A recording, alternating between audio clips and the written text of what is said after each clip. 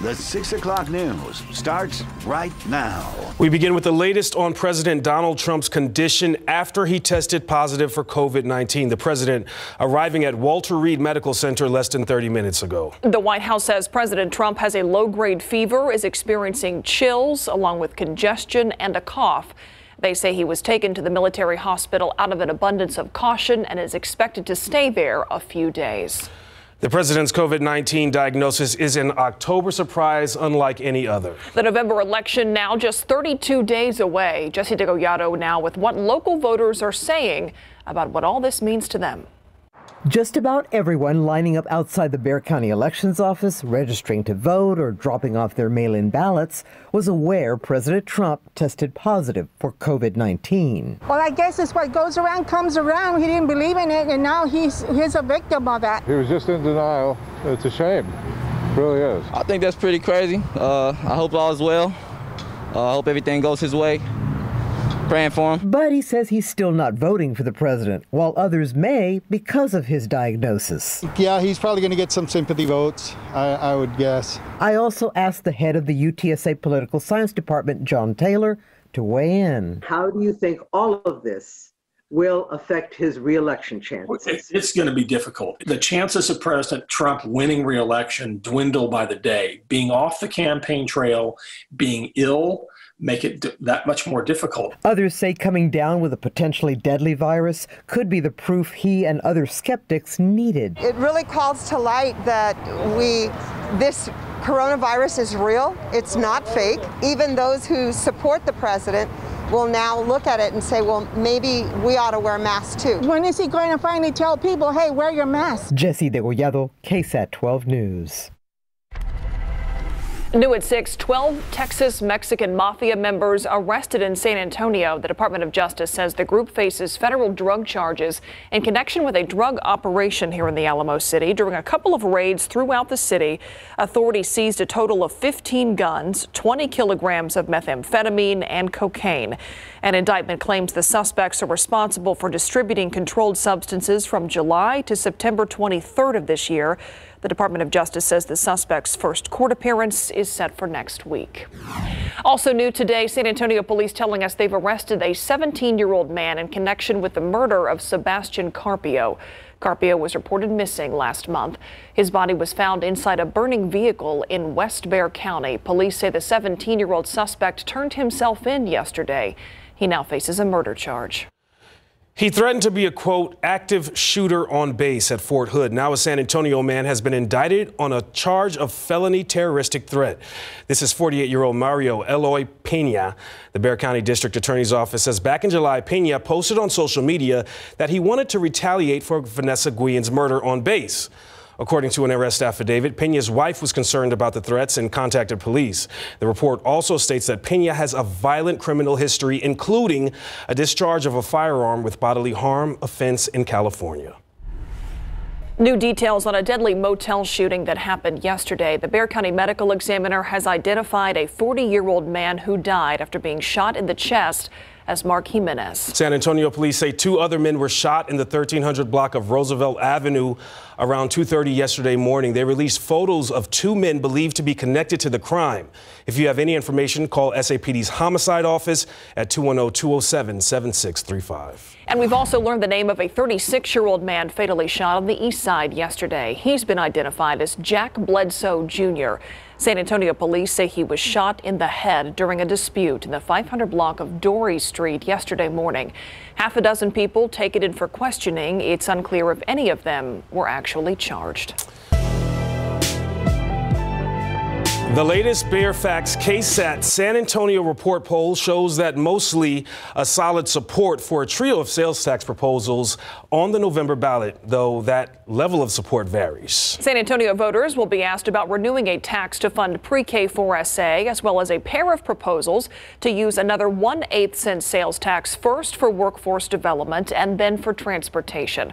Our Garrett Berger talked to each of the campaigns behind those about the numbers.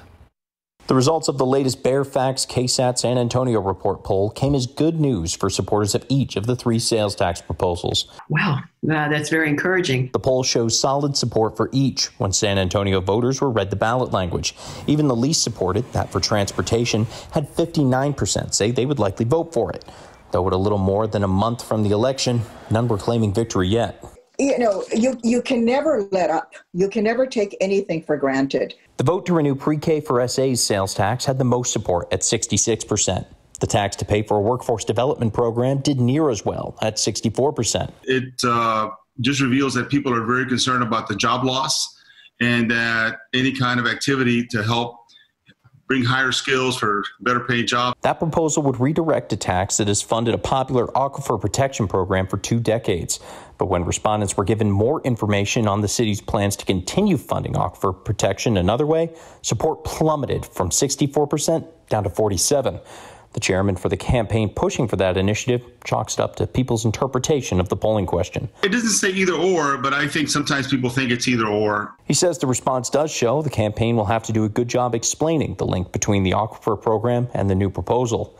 If so, they have just over a month to do it. Garrett Berger, KSAT 12 News. And coming up in our KSAT Q&A today, we speak to a member of the Bexar Facts team to break down even more results from this latest poll and some of the biggest takeaways. That's coming up at just about 630. Before blacks were welcomed in Major League Baseball, many talented athletes resorted to playing in the Negro Leagues and on neighborhood teams. Back in the 1950s and 60s, the east side of San Antonio was an area where a lot of skills were honed and baseball kept youth occupied. I recently took a trip to Pittman Sullivan Park where the legacy created back then still shining today. We really got started because we couldn't go play in other, other leagues. In the 1960s, baseball was a segregated sport, and minority players in San Antonio did not have an even playing field. We needed to have a place to go, and we never really wanted you to give us anything. We just wanted to be included. We just wanted to play. It's why Nathaniel and Odie Davis III's father, Odie Davis Jr., created a neighborhood baseball team known as the Denver Heights Bears. They played at Pittman Sullivan Park and attracted a pool of East Side talent. It was so important that everyone had a way out out on the weekends, you know, to go right. practice and then come and loosen up and play a game on Sundays. We had good coaches and uh, that were teaching us uh, really some values, right. you know, and responsibility. But the efforts to offer black youth opportunities in baseball were often met with challenges. In addition to playing against teams in the South Texas Negro League, the Bears also faced white teams that didn't show sportsmanlike conduct. They would tell you in the beginning that yeah. we don't want you here. And so we're going to do everything in our power to make sure you lose. And they did. But the players fought back. They would cheat and they would do everything, and we would just come together, and that's what made us stronger. That's and right. they, we would just come together and we would just beat them with our bats. We just we would just beat them up. Nathaniel Davis took over as manager of the Bears when their father died in 1975 and kept the team going until 2005. Odie Davis III got the chance to play in the major leagues for the Texas Rangers and the Cleveland Indians. Opportunities forged years earlier. They really, yeah, they gave the kids something to do. They look forward to it. And right outside of Pittman Sullivan Park sits the Davis Scott YMCA, which was built back in 1979 and later partly named after Odie Davis Jr. Many say that Davis Jr.'s legacy is a big part of the reason why children and adults from all walks of life have that recreational space that's still serving the community today. Love those stories. Thanks, Devin. A couple of traffic alerts as we head into the weekend. On the city's west side, all main lanes of Loop 410 from Marbach Road to Military Drive will be closed through Monday. The Highway 151 eastbound frontage road from Loop 410 to Ingram Road also closed. TxDOT says crews will be installing steel beams and continuing construction on flyover ramps there. The work begins at 8 tonight and will go through 5 Monday morning. You're being asked to just avoid the area if you can. On the northwest side of town, Wurzbach Parkway between Northwest Military and Blanco Road will also be closed this weekend. Crews will be removing concrete forms under the land bridge there and finishing up other parts of the Robert L.B. Tobin Land Bridge project. It's all to provide a safe path into Hardberger Park. The road closure begins at 9 o'clock tonight. All lanes should be reopened by 5 a.m. on Monday. And taking a look at time saver traffic with TransGuide, it is Friday at 6 o'clock, so you can imagine that there is some slow moving traffic there at I 35 Insurance Parkway. No major backups, though, to report. Traffic moving steadily, slowly. Uh, looks like uh, just the normal Friday Friday tr- commute. Slowly but surely getting to the weekend, right? Look outside with live cam right now, 82 degrees out there, a little bit cooler than we were this time yesterday, but this stretch of days this week, Adam, it's just been so nice. Yeah, it sure has been something else, hasn't it? And it's going to continue into the weekend with a few modifications. I'll get to those details in a moment. First of all, the aquifer down half a foot today. We're now two feet below the October average. Mold is moderate and ragweed is moderate. And you can see ragweed season really is extended and it peaks here late September into October, and fall elm usually peaks as well about this time. So it's that time of year for some of those allergens to really come out and be noticed. Del Rio 87, 83 in Kerrville, 79 right now in Rock Springs, and 82 in San Antonio. This evening, clear sky, pretty much a calm wind and very comfortable. Low humidity by 9 p.m. 75, 11 p.m. 70. A good evening to be outdoors. This weekend, nothing but sunshine, well into the 80s with some comfortable mornings. Tomorrow morning, 58. Talk about Tropical Depression 25 coming up. We are rounding out another week of daily briefings on local COVID 19 cases. The numbers continue to be encouraging and head in the right direction, but we're still very much in this pandemic. Let's listen in to our medical director for San Antonio Metro Health. And we do have a special guest tonight, Graham Weston, who is the chairman of the board of community labs. We'll be talking a little bit about a partnership that we're happy to announce this evening. But first, let's go to the numbers. We have 103 new cases reported tonight of COVID 19, which brings the total since the pandemic began to 58,039. Our new seven day moving average has dropped to 150. And again, that is a more accurate picture of what's happening day to day with regard to the coronavirus here in San Antonio. We do have some good news also uh, as we go into the weekend. There are no new deaths to report tonight. The total number of COVID deaths in our community remains at 1,138. That's loved ones and neighbors and colleagues lost, so please keep their families in your prayers. Tonight, there are 196 COVID patients in the hospital. That's the first time we've been below 200 in many, many months. So let's keep that up. There are, however, 29 COVID-related admissions admissions to the hospital since yesterday. We have 76 patients in the ICU, flat since yesterday, and 31 patients on ventilators. The hospital system as a whole remains at the low end of the high stress score. So tonight we do have an exciting announcement, um, and let me preview, preview that for you. On Monday, we will begin offering free testing for people without symptoms. These will be FDA authorized nasal PCR tests, which with results expected back in less than 24 hours. The testing expansion is a partnership between Metro Health, Community Labs, and BioBridge Global. We'll start offering asymptomatic testing for the first hour of the day before eventually expanding those hours. So that's 10 a.m. at Cuellar Community Center on Monday. Tuesday, we'll add Ramirez Community Center at 10 a.m. and Wednesday at Freeman Coliseum when it opens at 9 a.m. After this soft launch, we'll expand the hours of availability, and you can find more information about this on our website. And Graham Weston and Dr. Woo will talk a little bit about it more before our Q&A. First, let me turn it over to Judge Wolff. Just going to say a couple of things because I want to leave plenty of time for Graham. Uh, let me first of all express my uh, condolences to the president and his family, uh, I believe he and his wife both have uh, uh, had COVID, and they're taking him over to Walter Reed Hospital now. And we pray for him uh, that he'll recover uh, promptly. Uh, second, Mayor mentioned that this is the first time in a good while since we've been below 200 in the hospital. The actual last time we were there was June the 15th. What's that, three or four months ago, I guess now when we were at 87. So that's good news. We broke that 200 number.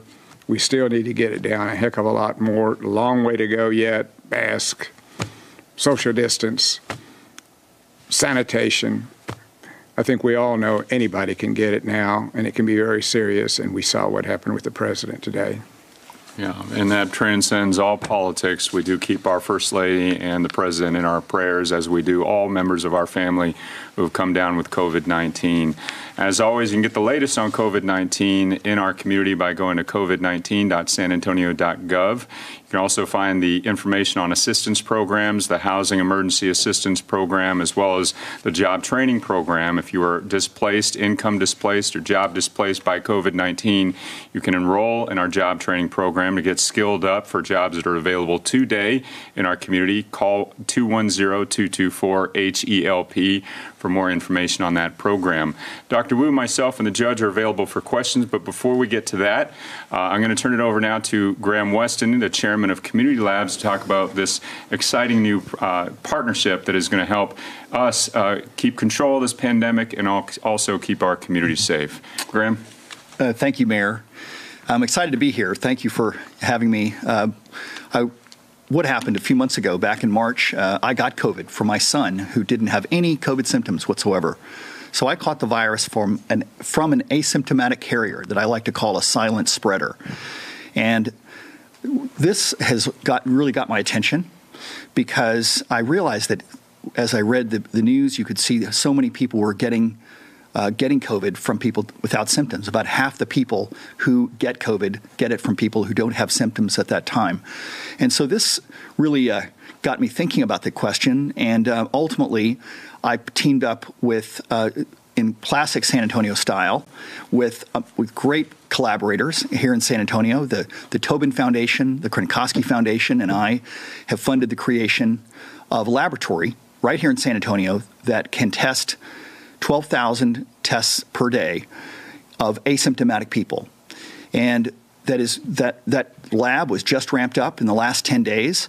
We tested more than a, a thousand tests this week, and we're going to be get, going up and up uh, in the number of tests in the coming weeks. And I'm absolutely thrilled to be uh, announcing this partnership with the county, with the city, and Metro Health.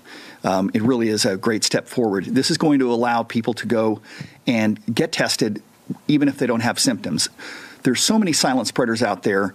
It, this is a great way to try to eliminate and suppress the virus even further. We'll also be better prepared if we have another spike.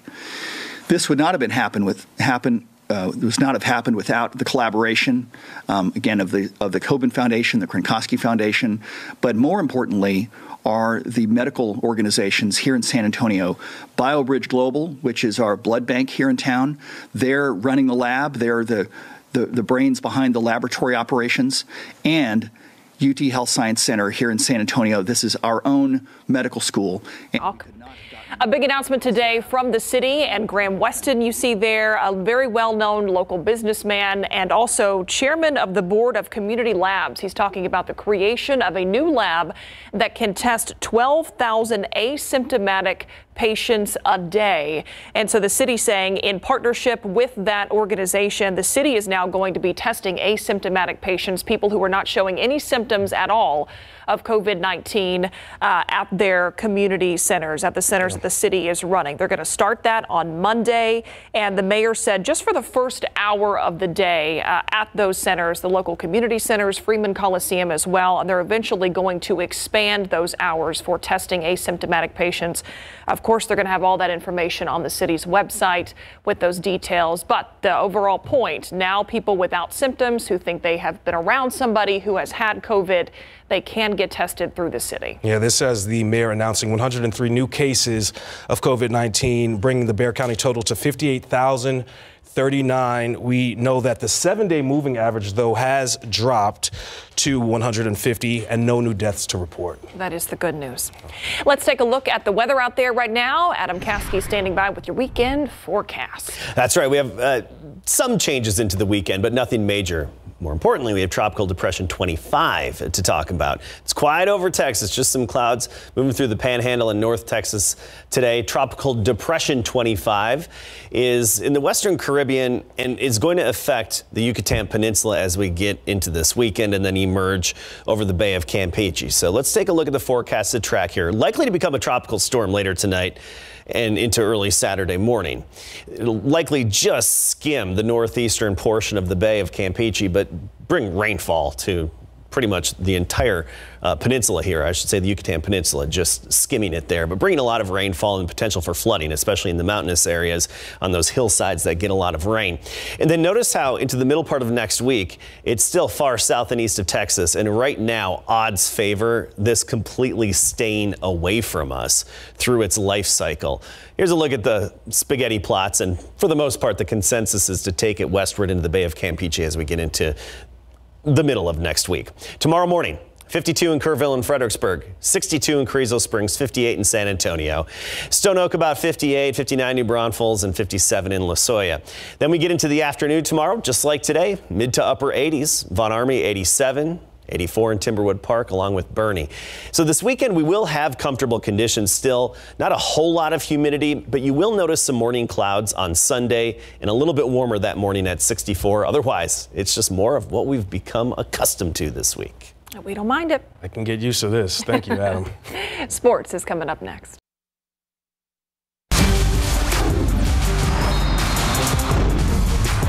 Our big game coverage road trip tonight will feature a District 15 2A2 contest between the Sabinal Yellow Jackets and the D'Hanis Cowboys. Sabinal's 4 1 this season, dropping their district opener last Friday night 28 24 to Charlotte. D'Hanis is 2 0 and won their district opener last week with Benavides 50 18. Sabinal is led by senior quarterback Grayson Kowalski, who has 742 yards passing and seven touchdowns. They go with 250 yards rushing and three more TDs. Sabinal and D'Hanis are separated by 11 miles, so this is always a monster game. It means a lot to me. It means a lot to me. Uh, they've been our rivalry for the longest time now, and uh, we lost to them twice in a row.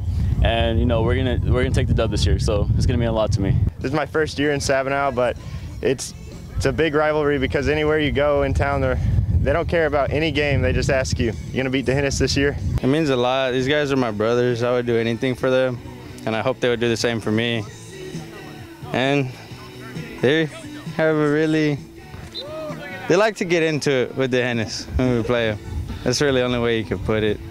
Sabinal is looking to break a two-game slide against D'Hanis. Now, our second game has Southwest Legacy at the Medina Valley Panthers in non-district action. Both are 0-1. Medina Valley opened with the uh, the season with a home loss to New Braunfels Canyon 28-7. Now, Coach Crisp and his Panthers, well, they want to play tough teams during non-district because it's the best way to see where you are while getting ready for district games. Medina Valley feels they have another tough one tonight with the Titans. Southwest Legacy, uh, we know they're a pretty good team. Uh, we know they're well coached. They like to play fast, and so we're just going to be ready to go hit them. They're going to be a good team. Um, we know they're pretty aggressive off the ball. Their D line uh, is pretty large, but uh, once I mean, if we play our one and eleven, we'll be able to move the ball downfield on them. And our defense are going to get the stops. They're a new school. Uh, they got some big guys, and they're going to come out and uh, be ready for us. So we got to be ready too. Southwest Legacy is now a third year varsity program. They went 0 10 their first season and 6 4 last season. All right, here's the road trip tonight to D'Hanis at Sabinal, Southwest Legacy at Medina Valley, and Marion at Lytle. Catch it all on the night beat.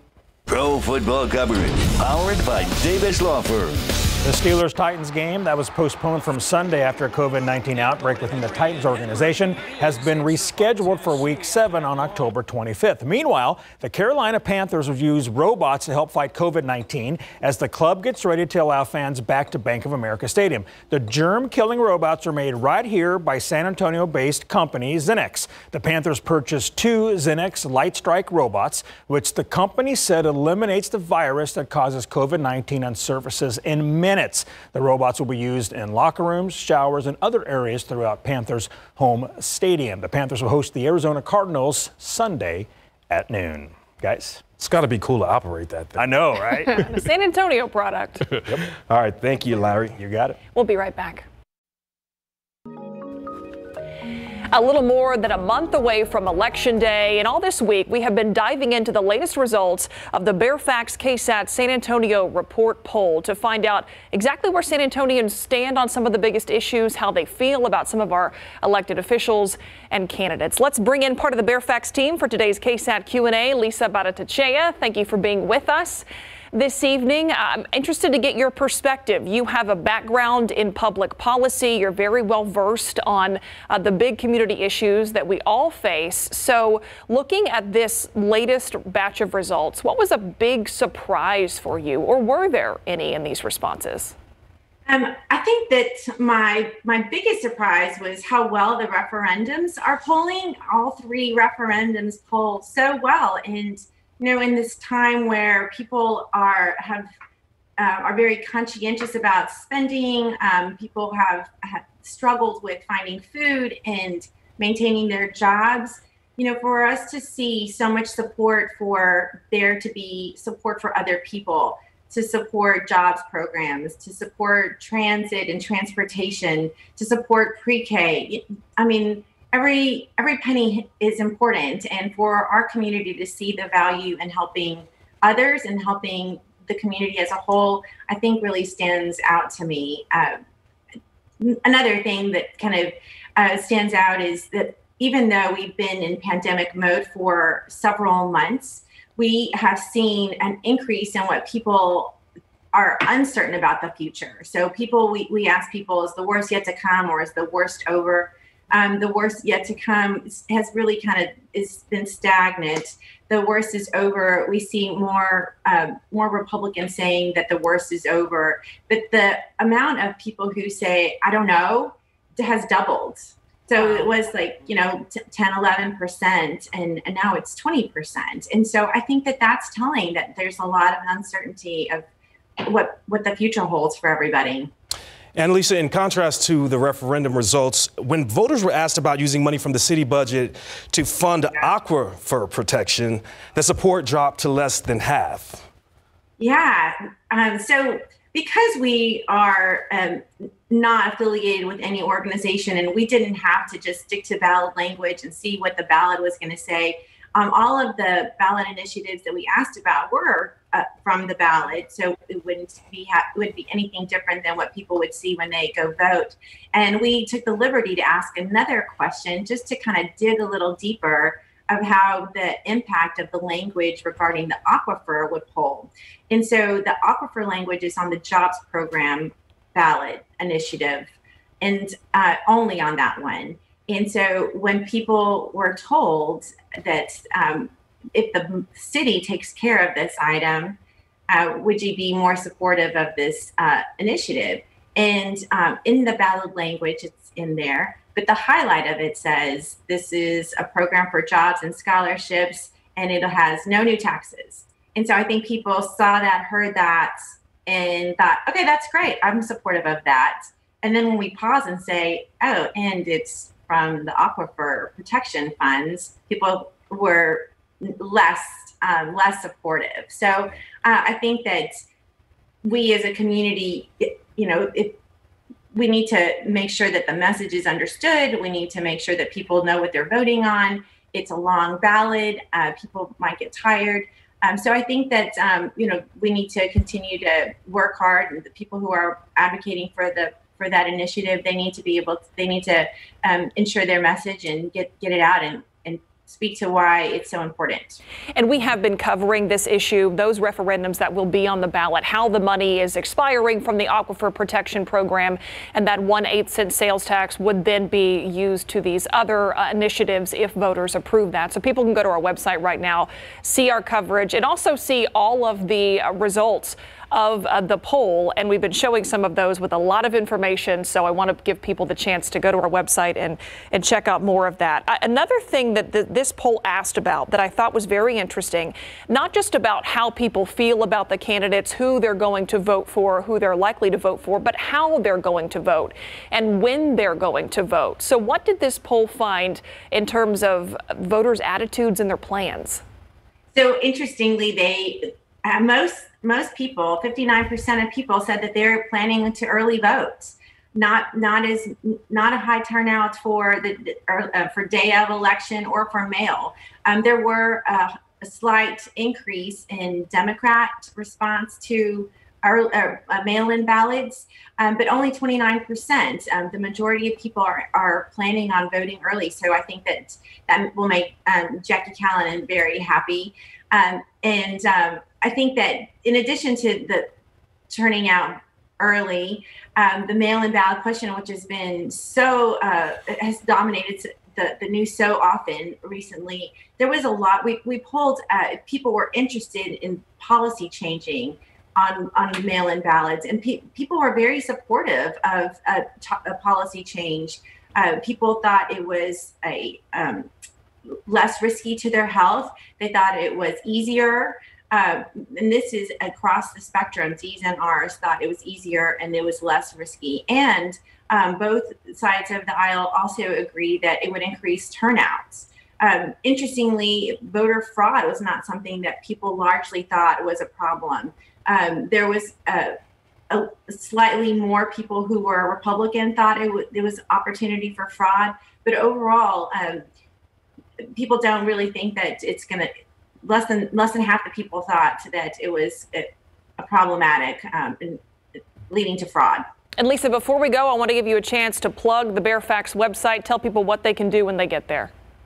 Thank you so much. So um, our Bexar Facts poll, we just started it this year. This is our fourth poll. You can go to our website, bexarfacts.org.org, to, to see all of our polls, to see all of the data, all of the facts. In fact, you can take the poll yourself.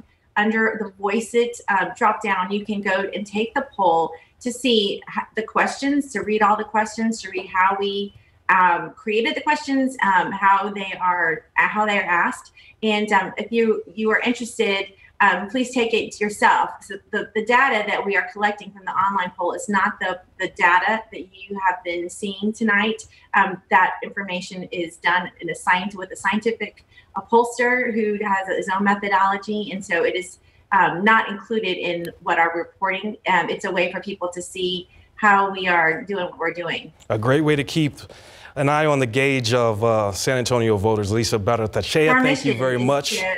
To, to, to, to amplify the voice of the people, to shape the future of our community. So that's what we are wanting to do. Lisa, thank you. We'll be right back. You don't have to be a NASA scientist to discover new planets, apparently. NASA launching a website called Planet Patrol, where members of the public can collaborate with astronomers to hunt for new worlds. They'll be sorting through images collected by NASA's Transiting Exoplanet Survey Satellite, or TESS. Pretty cool. Over the course of a year, TESS captures hundreds of thousands of snapshots but it's too many for scientists to examine without help, and that's where the volunteers come in. They'll answer questionnaires as they sift through images to help researchers narrow down the list of potential planets. I would love to see some of those responses. Yeah. Right? Look outside with live cam. Hopefully, we can continue this weather into the weekend, Adam. It's been so nice. Yeah, it has been fantastic, and we are going to continue it. You notice in that live picture there just a hint of haze in the sky. That's some smoke from the western wildfires that moved overhead today. Just a hint of it. Most people aren't even going to notice, except for a little extra color at sunrise and sunset. We topped out at 84 degrees today after a morning low of 62. High temperatures, we're in the 80s. Only 80 even in Fredericksburg. Del Rio 88 along with Carrizo Springs. And New Braunfels topped out at 85. We'll talk more about the weekend weather and also Tropical Depression 25 coming right up. All right, wondering about those cool mornings. Are those going to last Saturday, Sunday? And you know, I think tomorrow is going to be very similar to what we've been having. Sunday, just a little bit warmer, but not all that noticeably different. Let's talk about the tropics. It's quiet across Texas right now. We have some clouds in North Texas. That's it. But you get down into the Western Caribbean, and that's where we have Tropical Depression 25, likely to become our next tropical storm later tonight. It's a very broad system. You can see convection and precipitation spreading from the Yucatan Peninsula all the way over Cuba, and some of it even being thrown over South Florida as well. It's a weak system right now and is, as I mentioned, expected to become a low-end tropical storm later on tonight. And of course, on the night beat after the NBA playoffs or finals, I should say, we will have an update on this.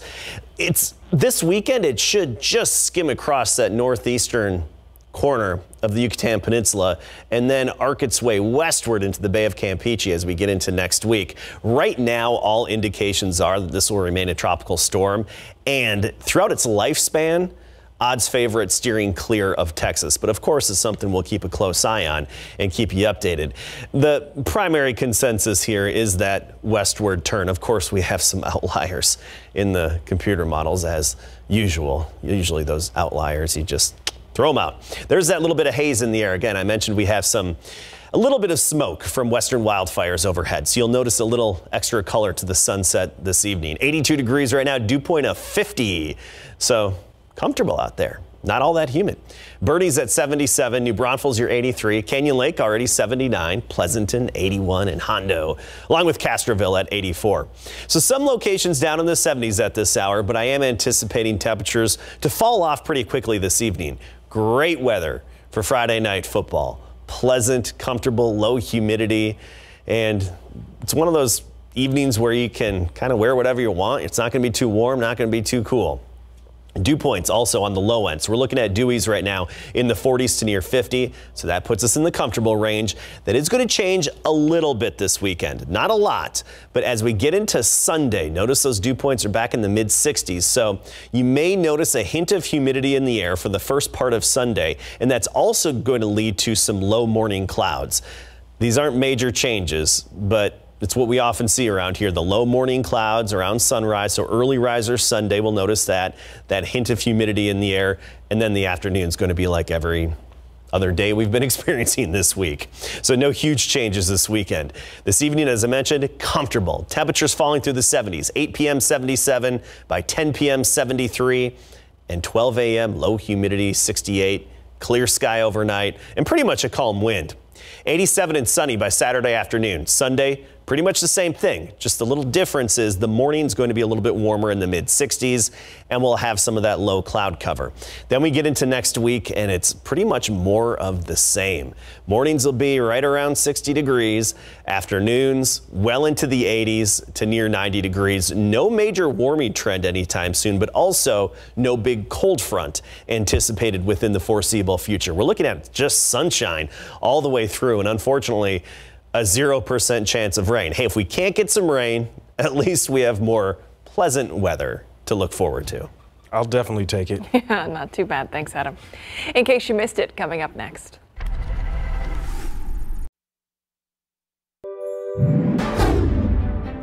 New this morning, a man taken to the hospital in serious condition after San Antonio police say he was shot overnight. Officers say this all happened around 3 this morning in the 11,000 block of Heaven Road. They say a man in his 30s was on a motorcycle when a woman walked on into the parking lot and shot him in the abdomen. The suspect then took off running towards the back of an apartment complex. Also new this morning, three people made it out safely after a fire broke out at a home in Converse. According to the Bexar County Sheriff's Office, the fire was contained to the back of the house and firefighters managed to get it knocked down pretty quickly. Investigators are working to determine how it all started. No one was hurt. Just about everyone lining up outside the Bexar County Elections Office, registering to vote or dropping off their mail-in ballots, was aware President Trump tested positive, coming down with a potentially deadly virus could be the proof he and other skeptics needed. It really calls to light that we this coronavirus is real. It's not fake. Even those who support the president will now look at it and say, well, maybe we ought to wear masks. New at 6, 12 Texas Mexican mafia members arrested in San Antonio. The Department of Justice says the group faces federal drug charges in connection with a drug operation here in the Alamo City. During a couple of raids throughout the city, authorities seized a total of 15 guns, 20 kilograms of methamphetamine, and cocaine. An indictment claims the suspects are responsible for distributing controlled substances from July to September 23rd of this year. The Department of Justice says the suspect's first court appearance is set for next week.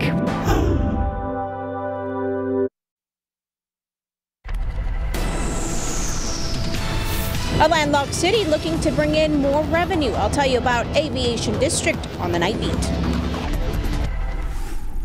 In the buzz, whether you love it or hate it, pumpkin spice seems to be on pretty much everything, including apparently turkey. Hmm. The Honey Baked Ham Company testing out a pumpkin spice glazed turkey breast. I'll pass, but you can get one during the month of October if you're in a select U.S. city. The company says the flavors will add some seasonal flair to its traditional sweet and crunchy glaze. It says you can choose between roasted or smoked varieties. Add that one to the list. Hmm. You know, it might not be that bad to be honest with you, because turkey goes with pumpkin. Oh, it, ham. could work. I could yeah. see ham, Over ham, maybe yeah. a little bit more with the I'll- sweet glaze, you know. Another nope. Either way, it's We're- up to we're you. To debating each his big own. issues here. I'm glad we're all in on this. We we debate about the oddest things around here when we're not on air. So anyway, we or could go even on. sometimes when we are Yep. on air. Valid point. And people at home are saying, just get- wrap Just look at those maps. There we go. Okay. It's a nice week ahead. It is. A good weekend. We'll be in the upper 50s tomorrow morning by the afternoon, back into the mid to upper 80s. Nothing but sunshine all weekend. We're all acting like it is such a Friday. Thanks for watching. All right, we'll see you back here at 10 on the night beat.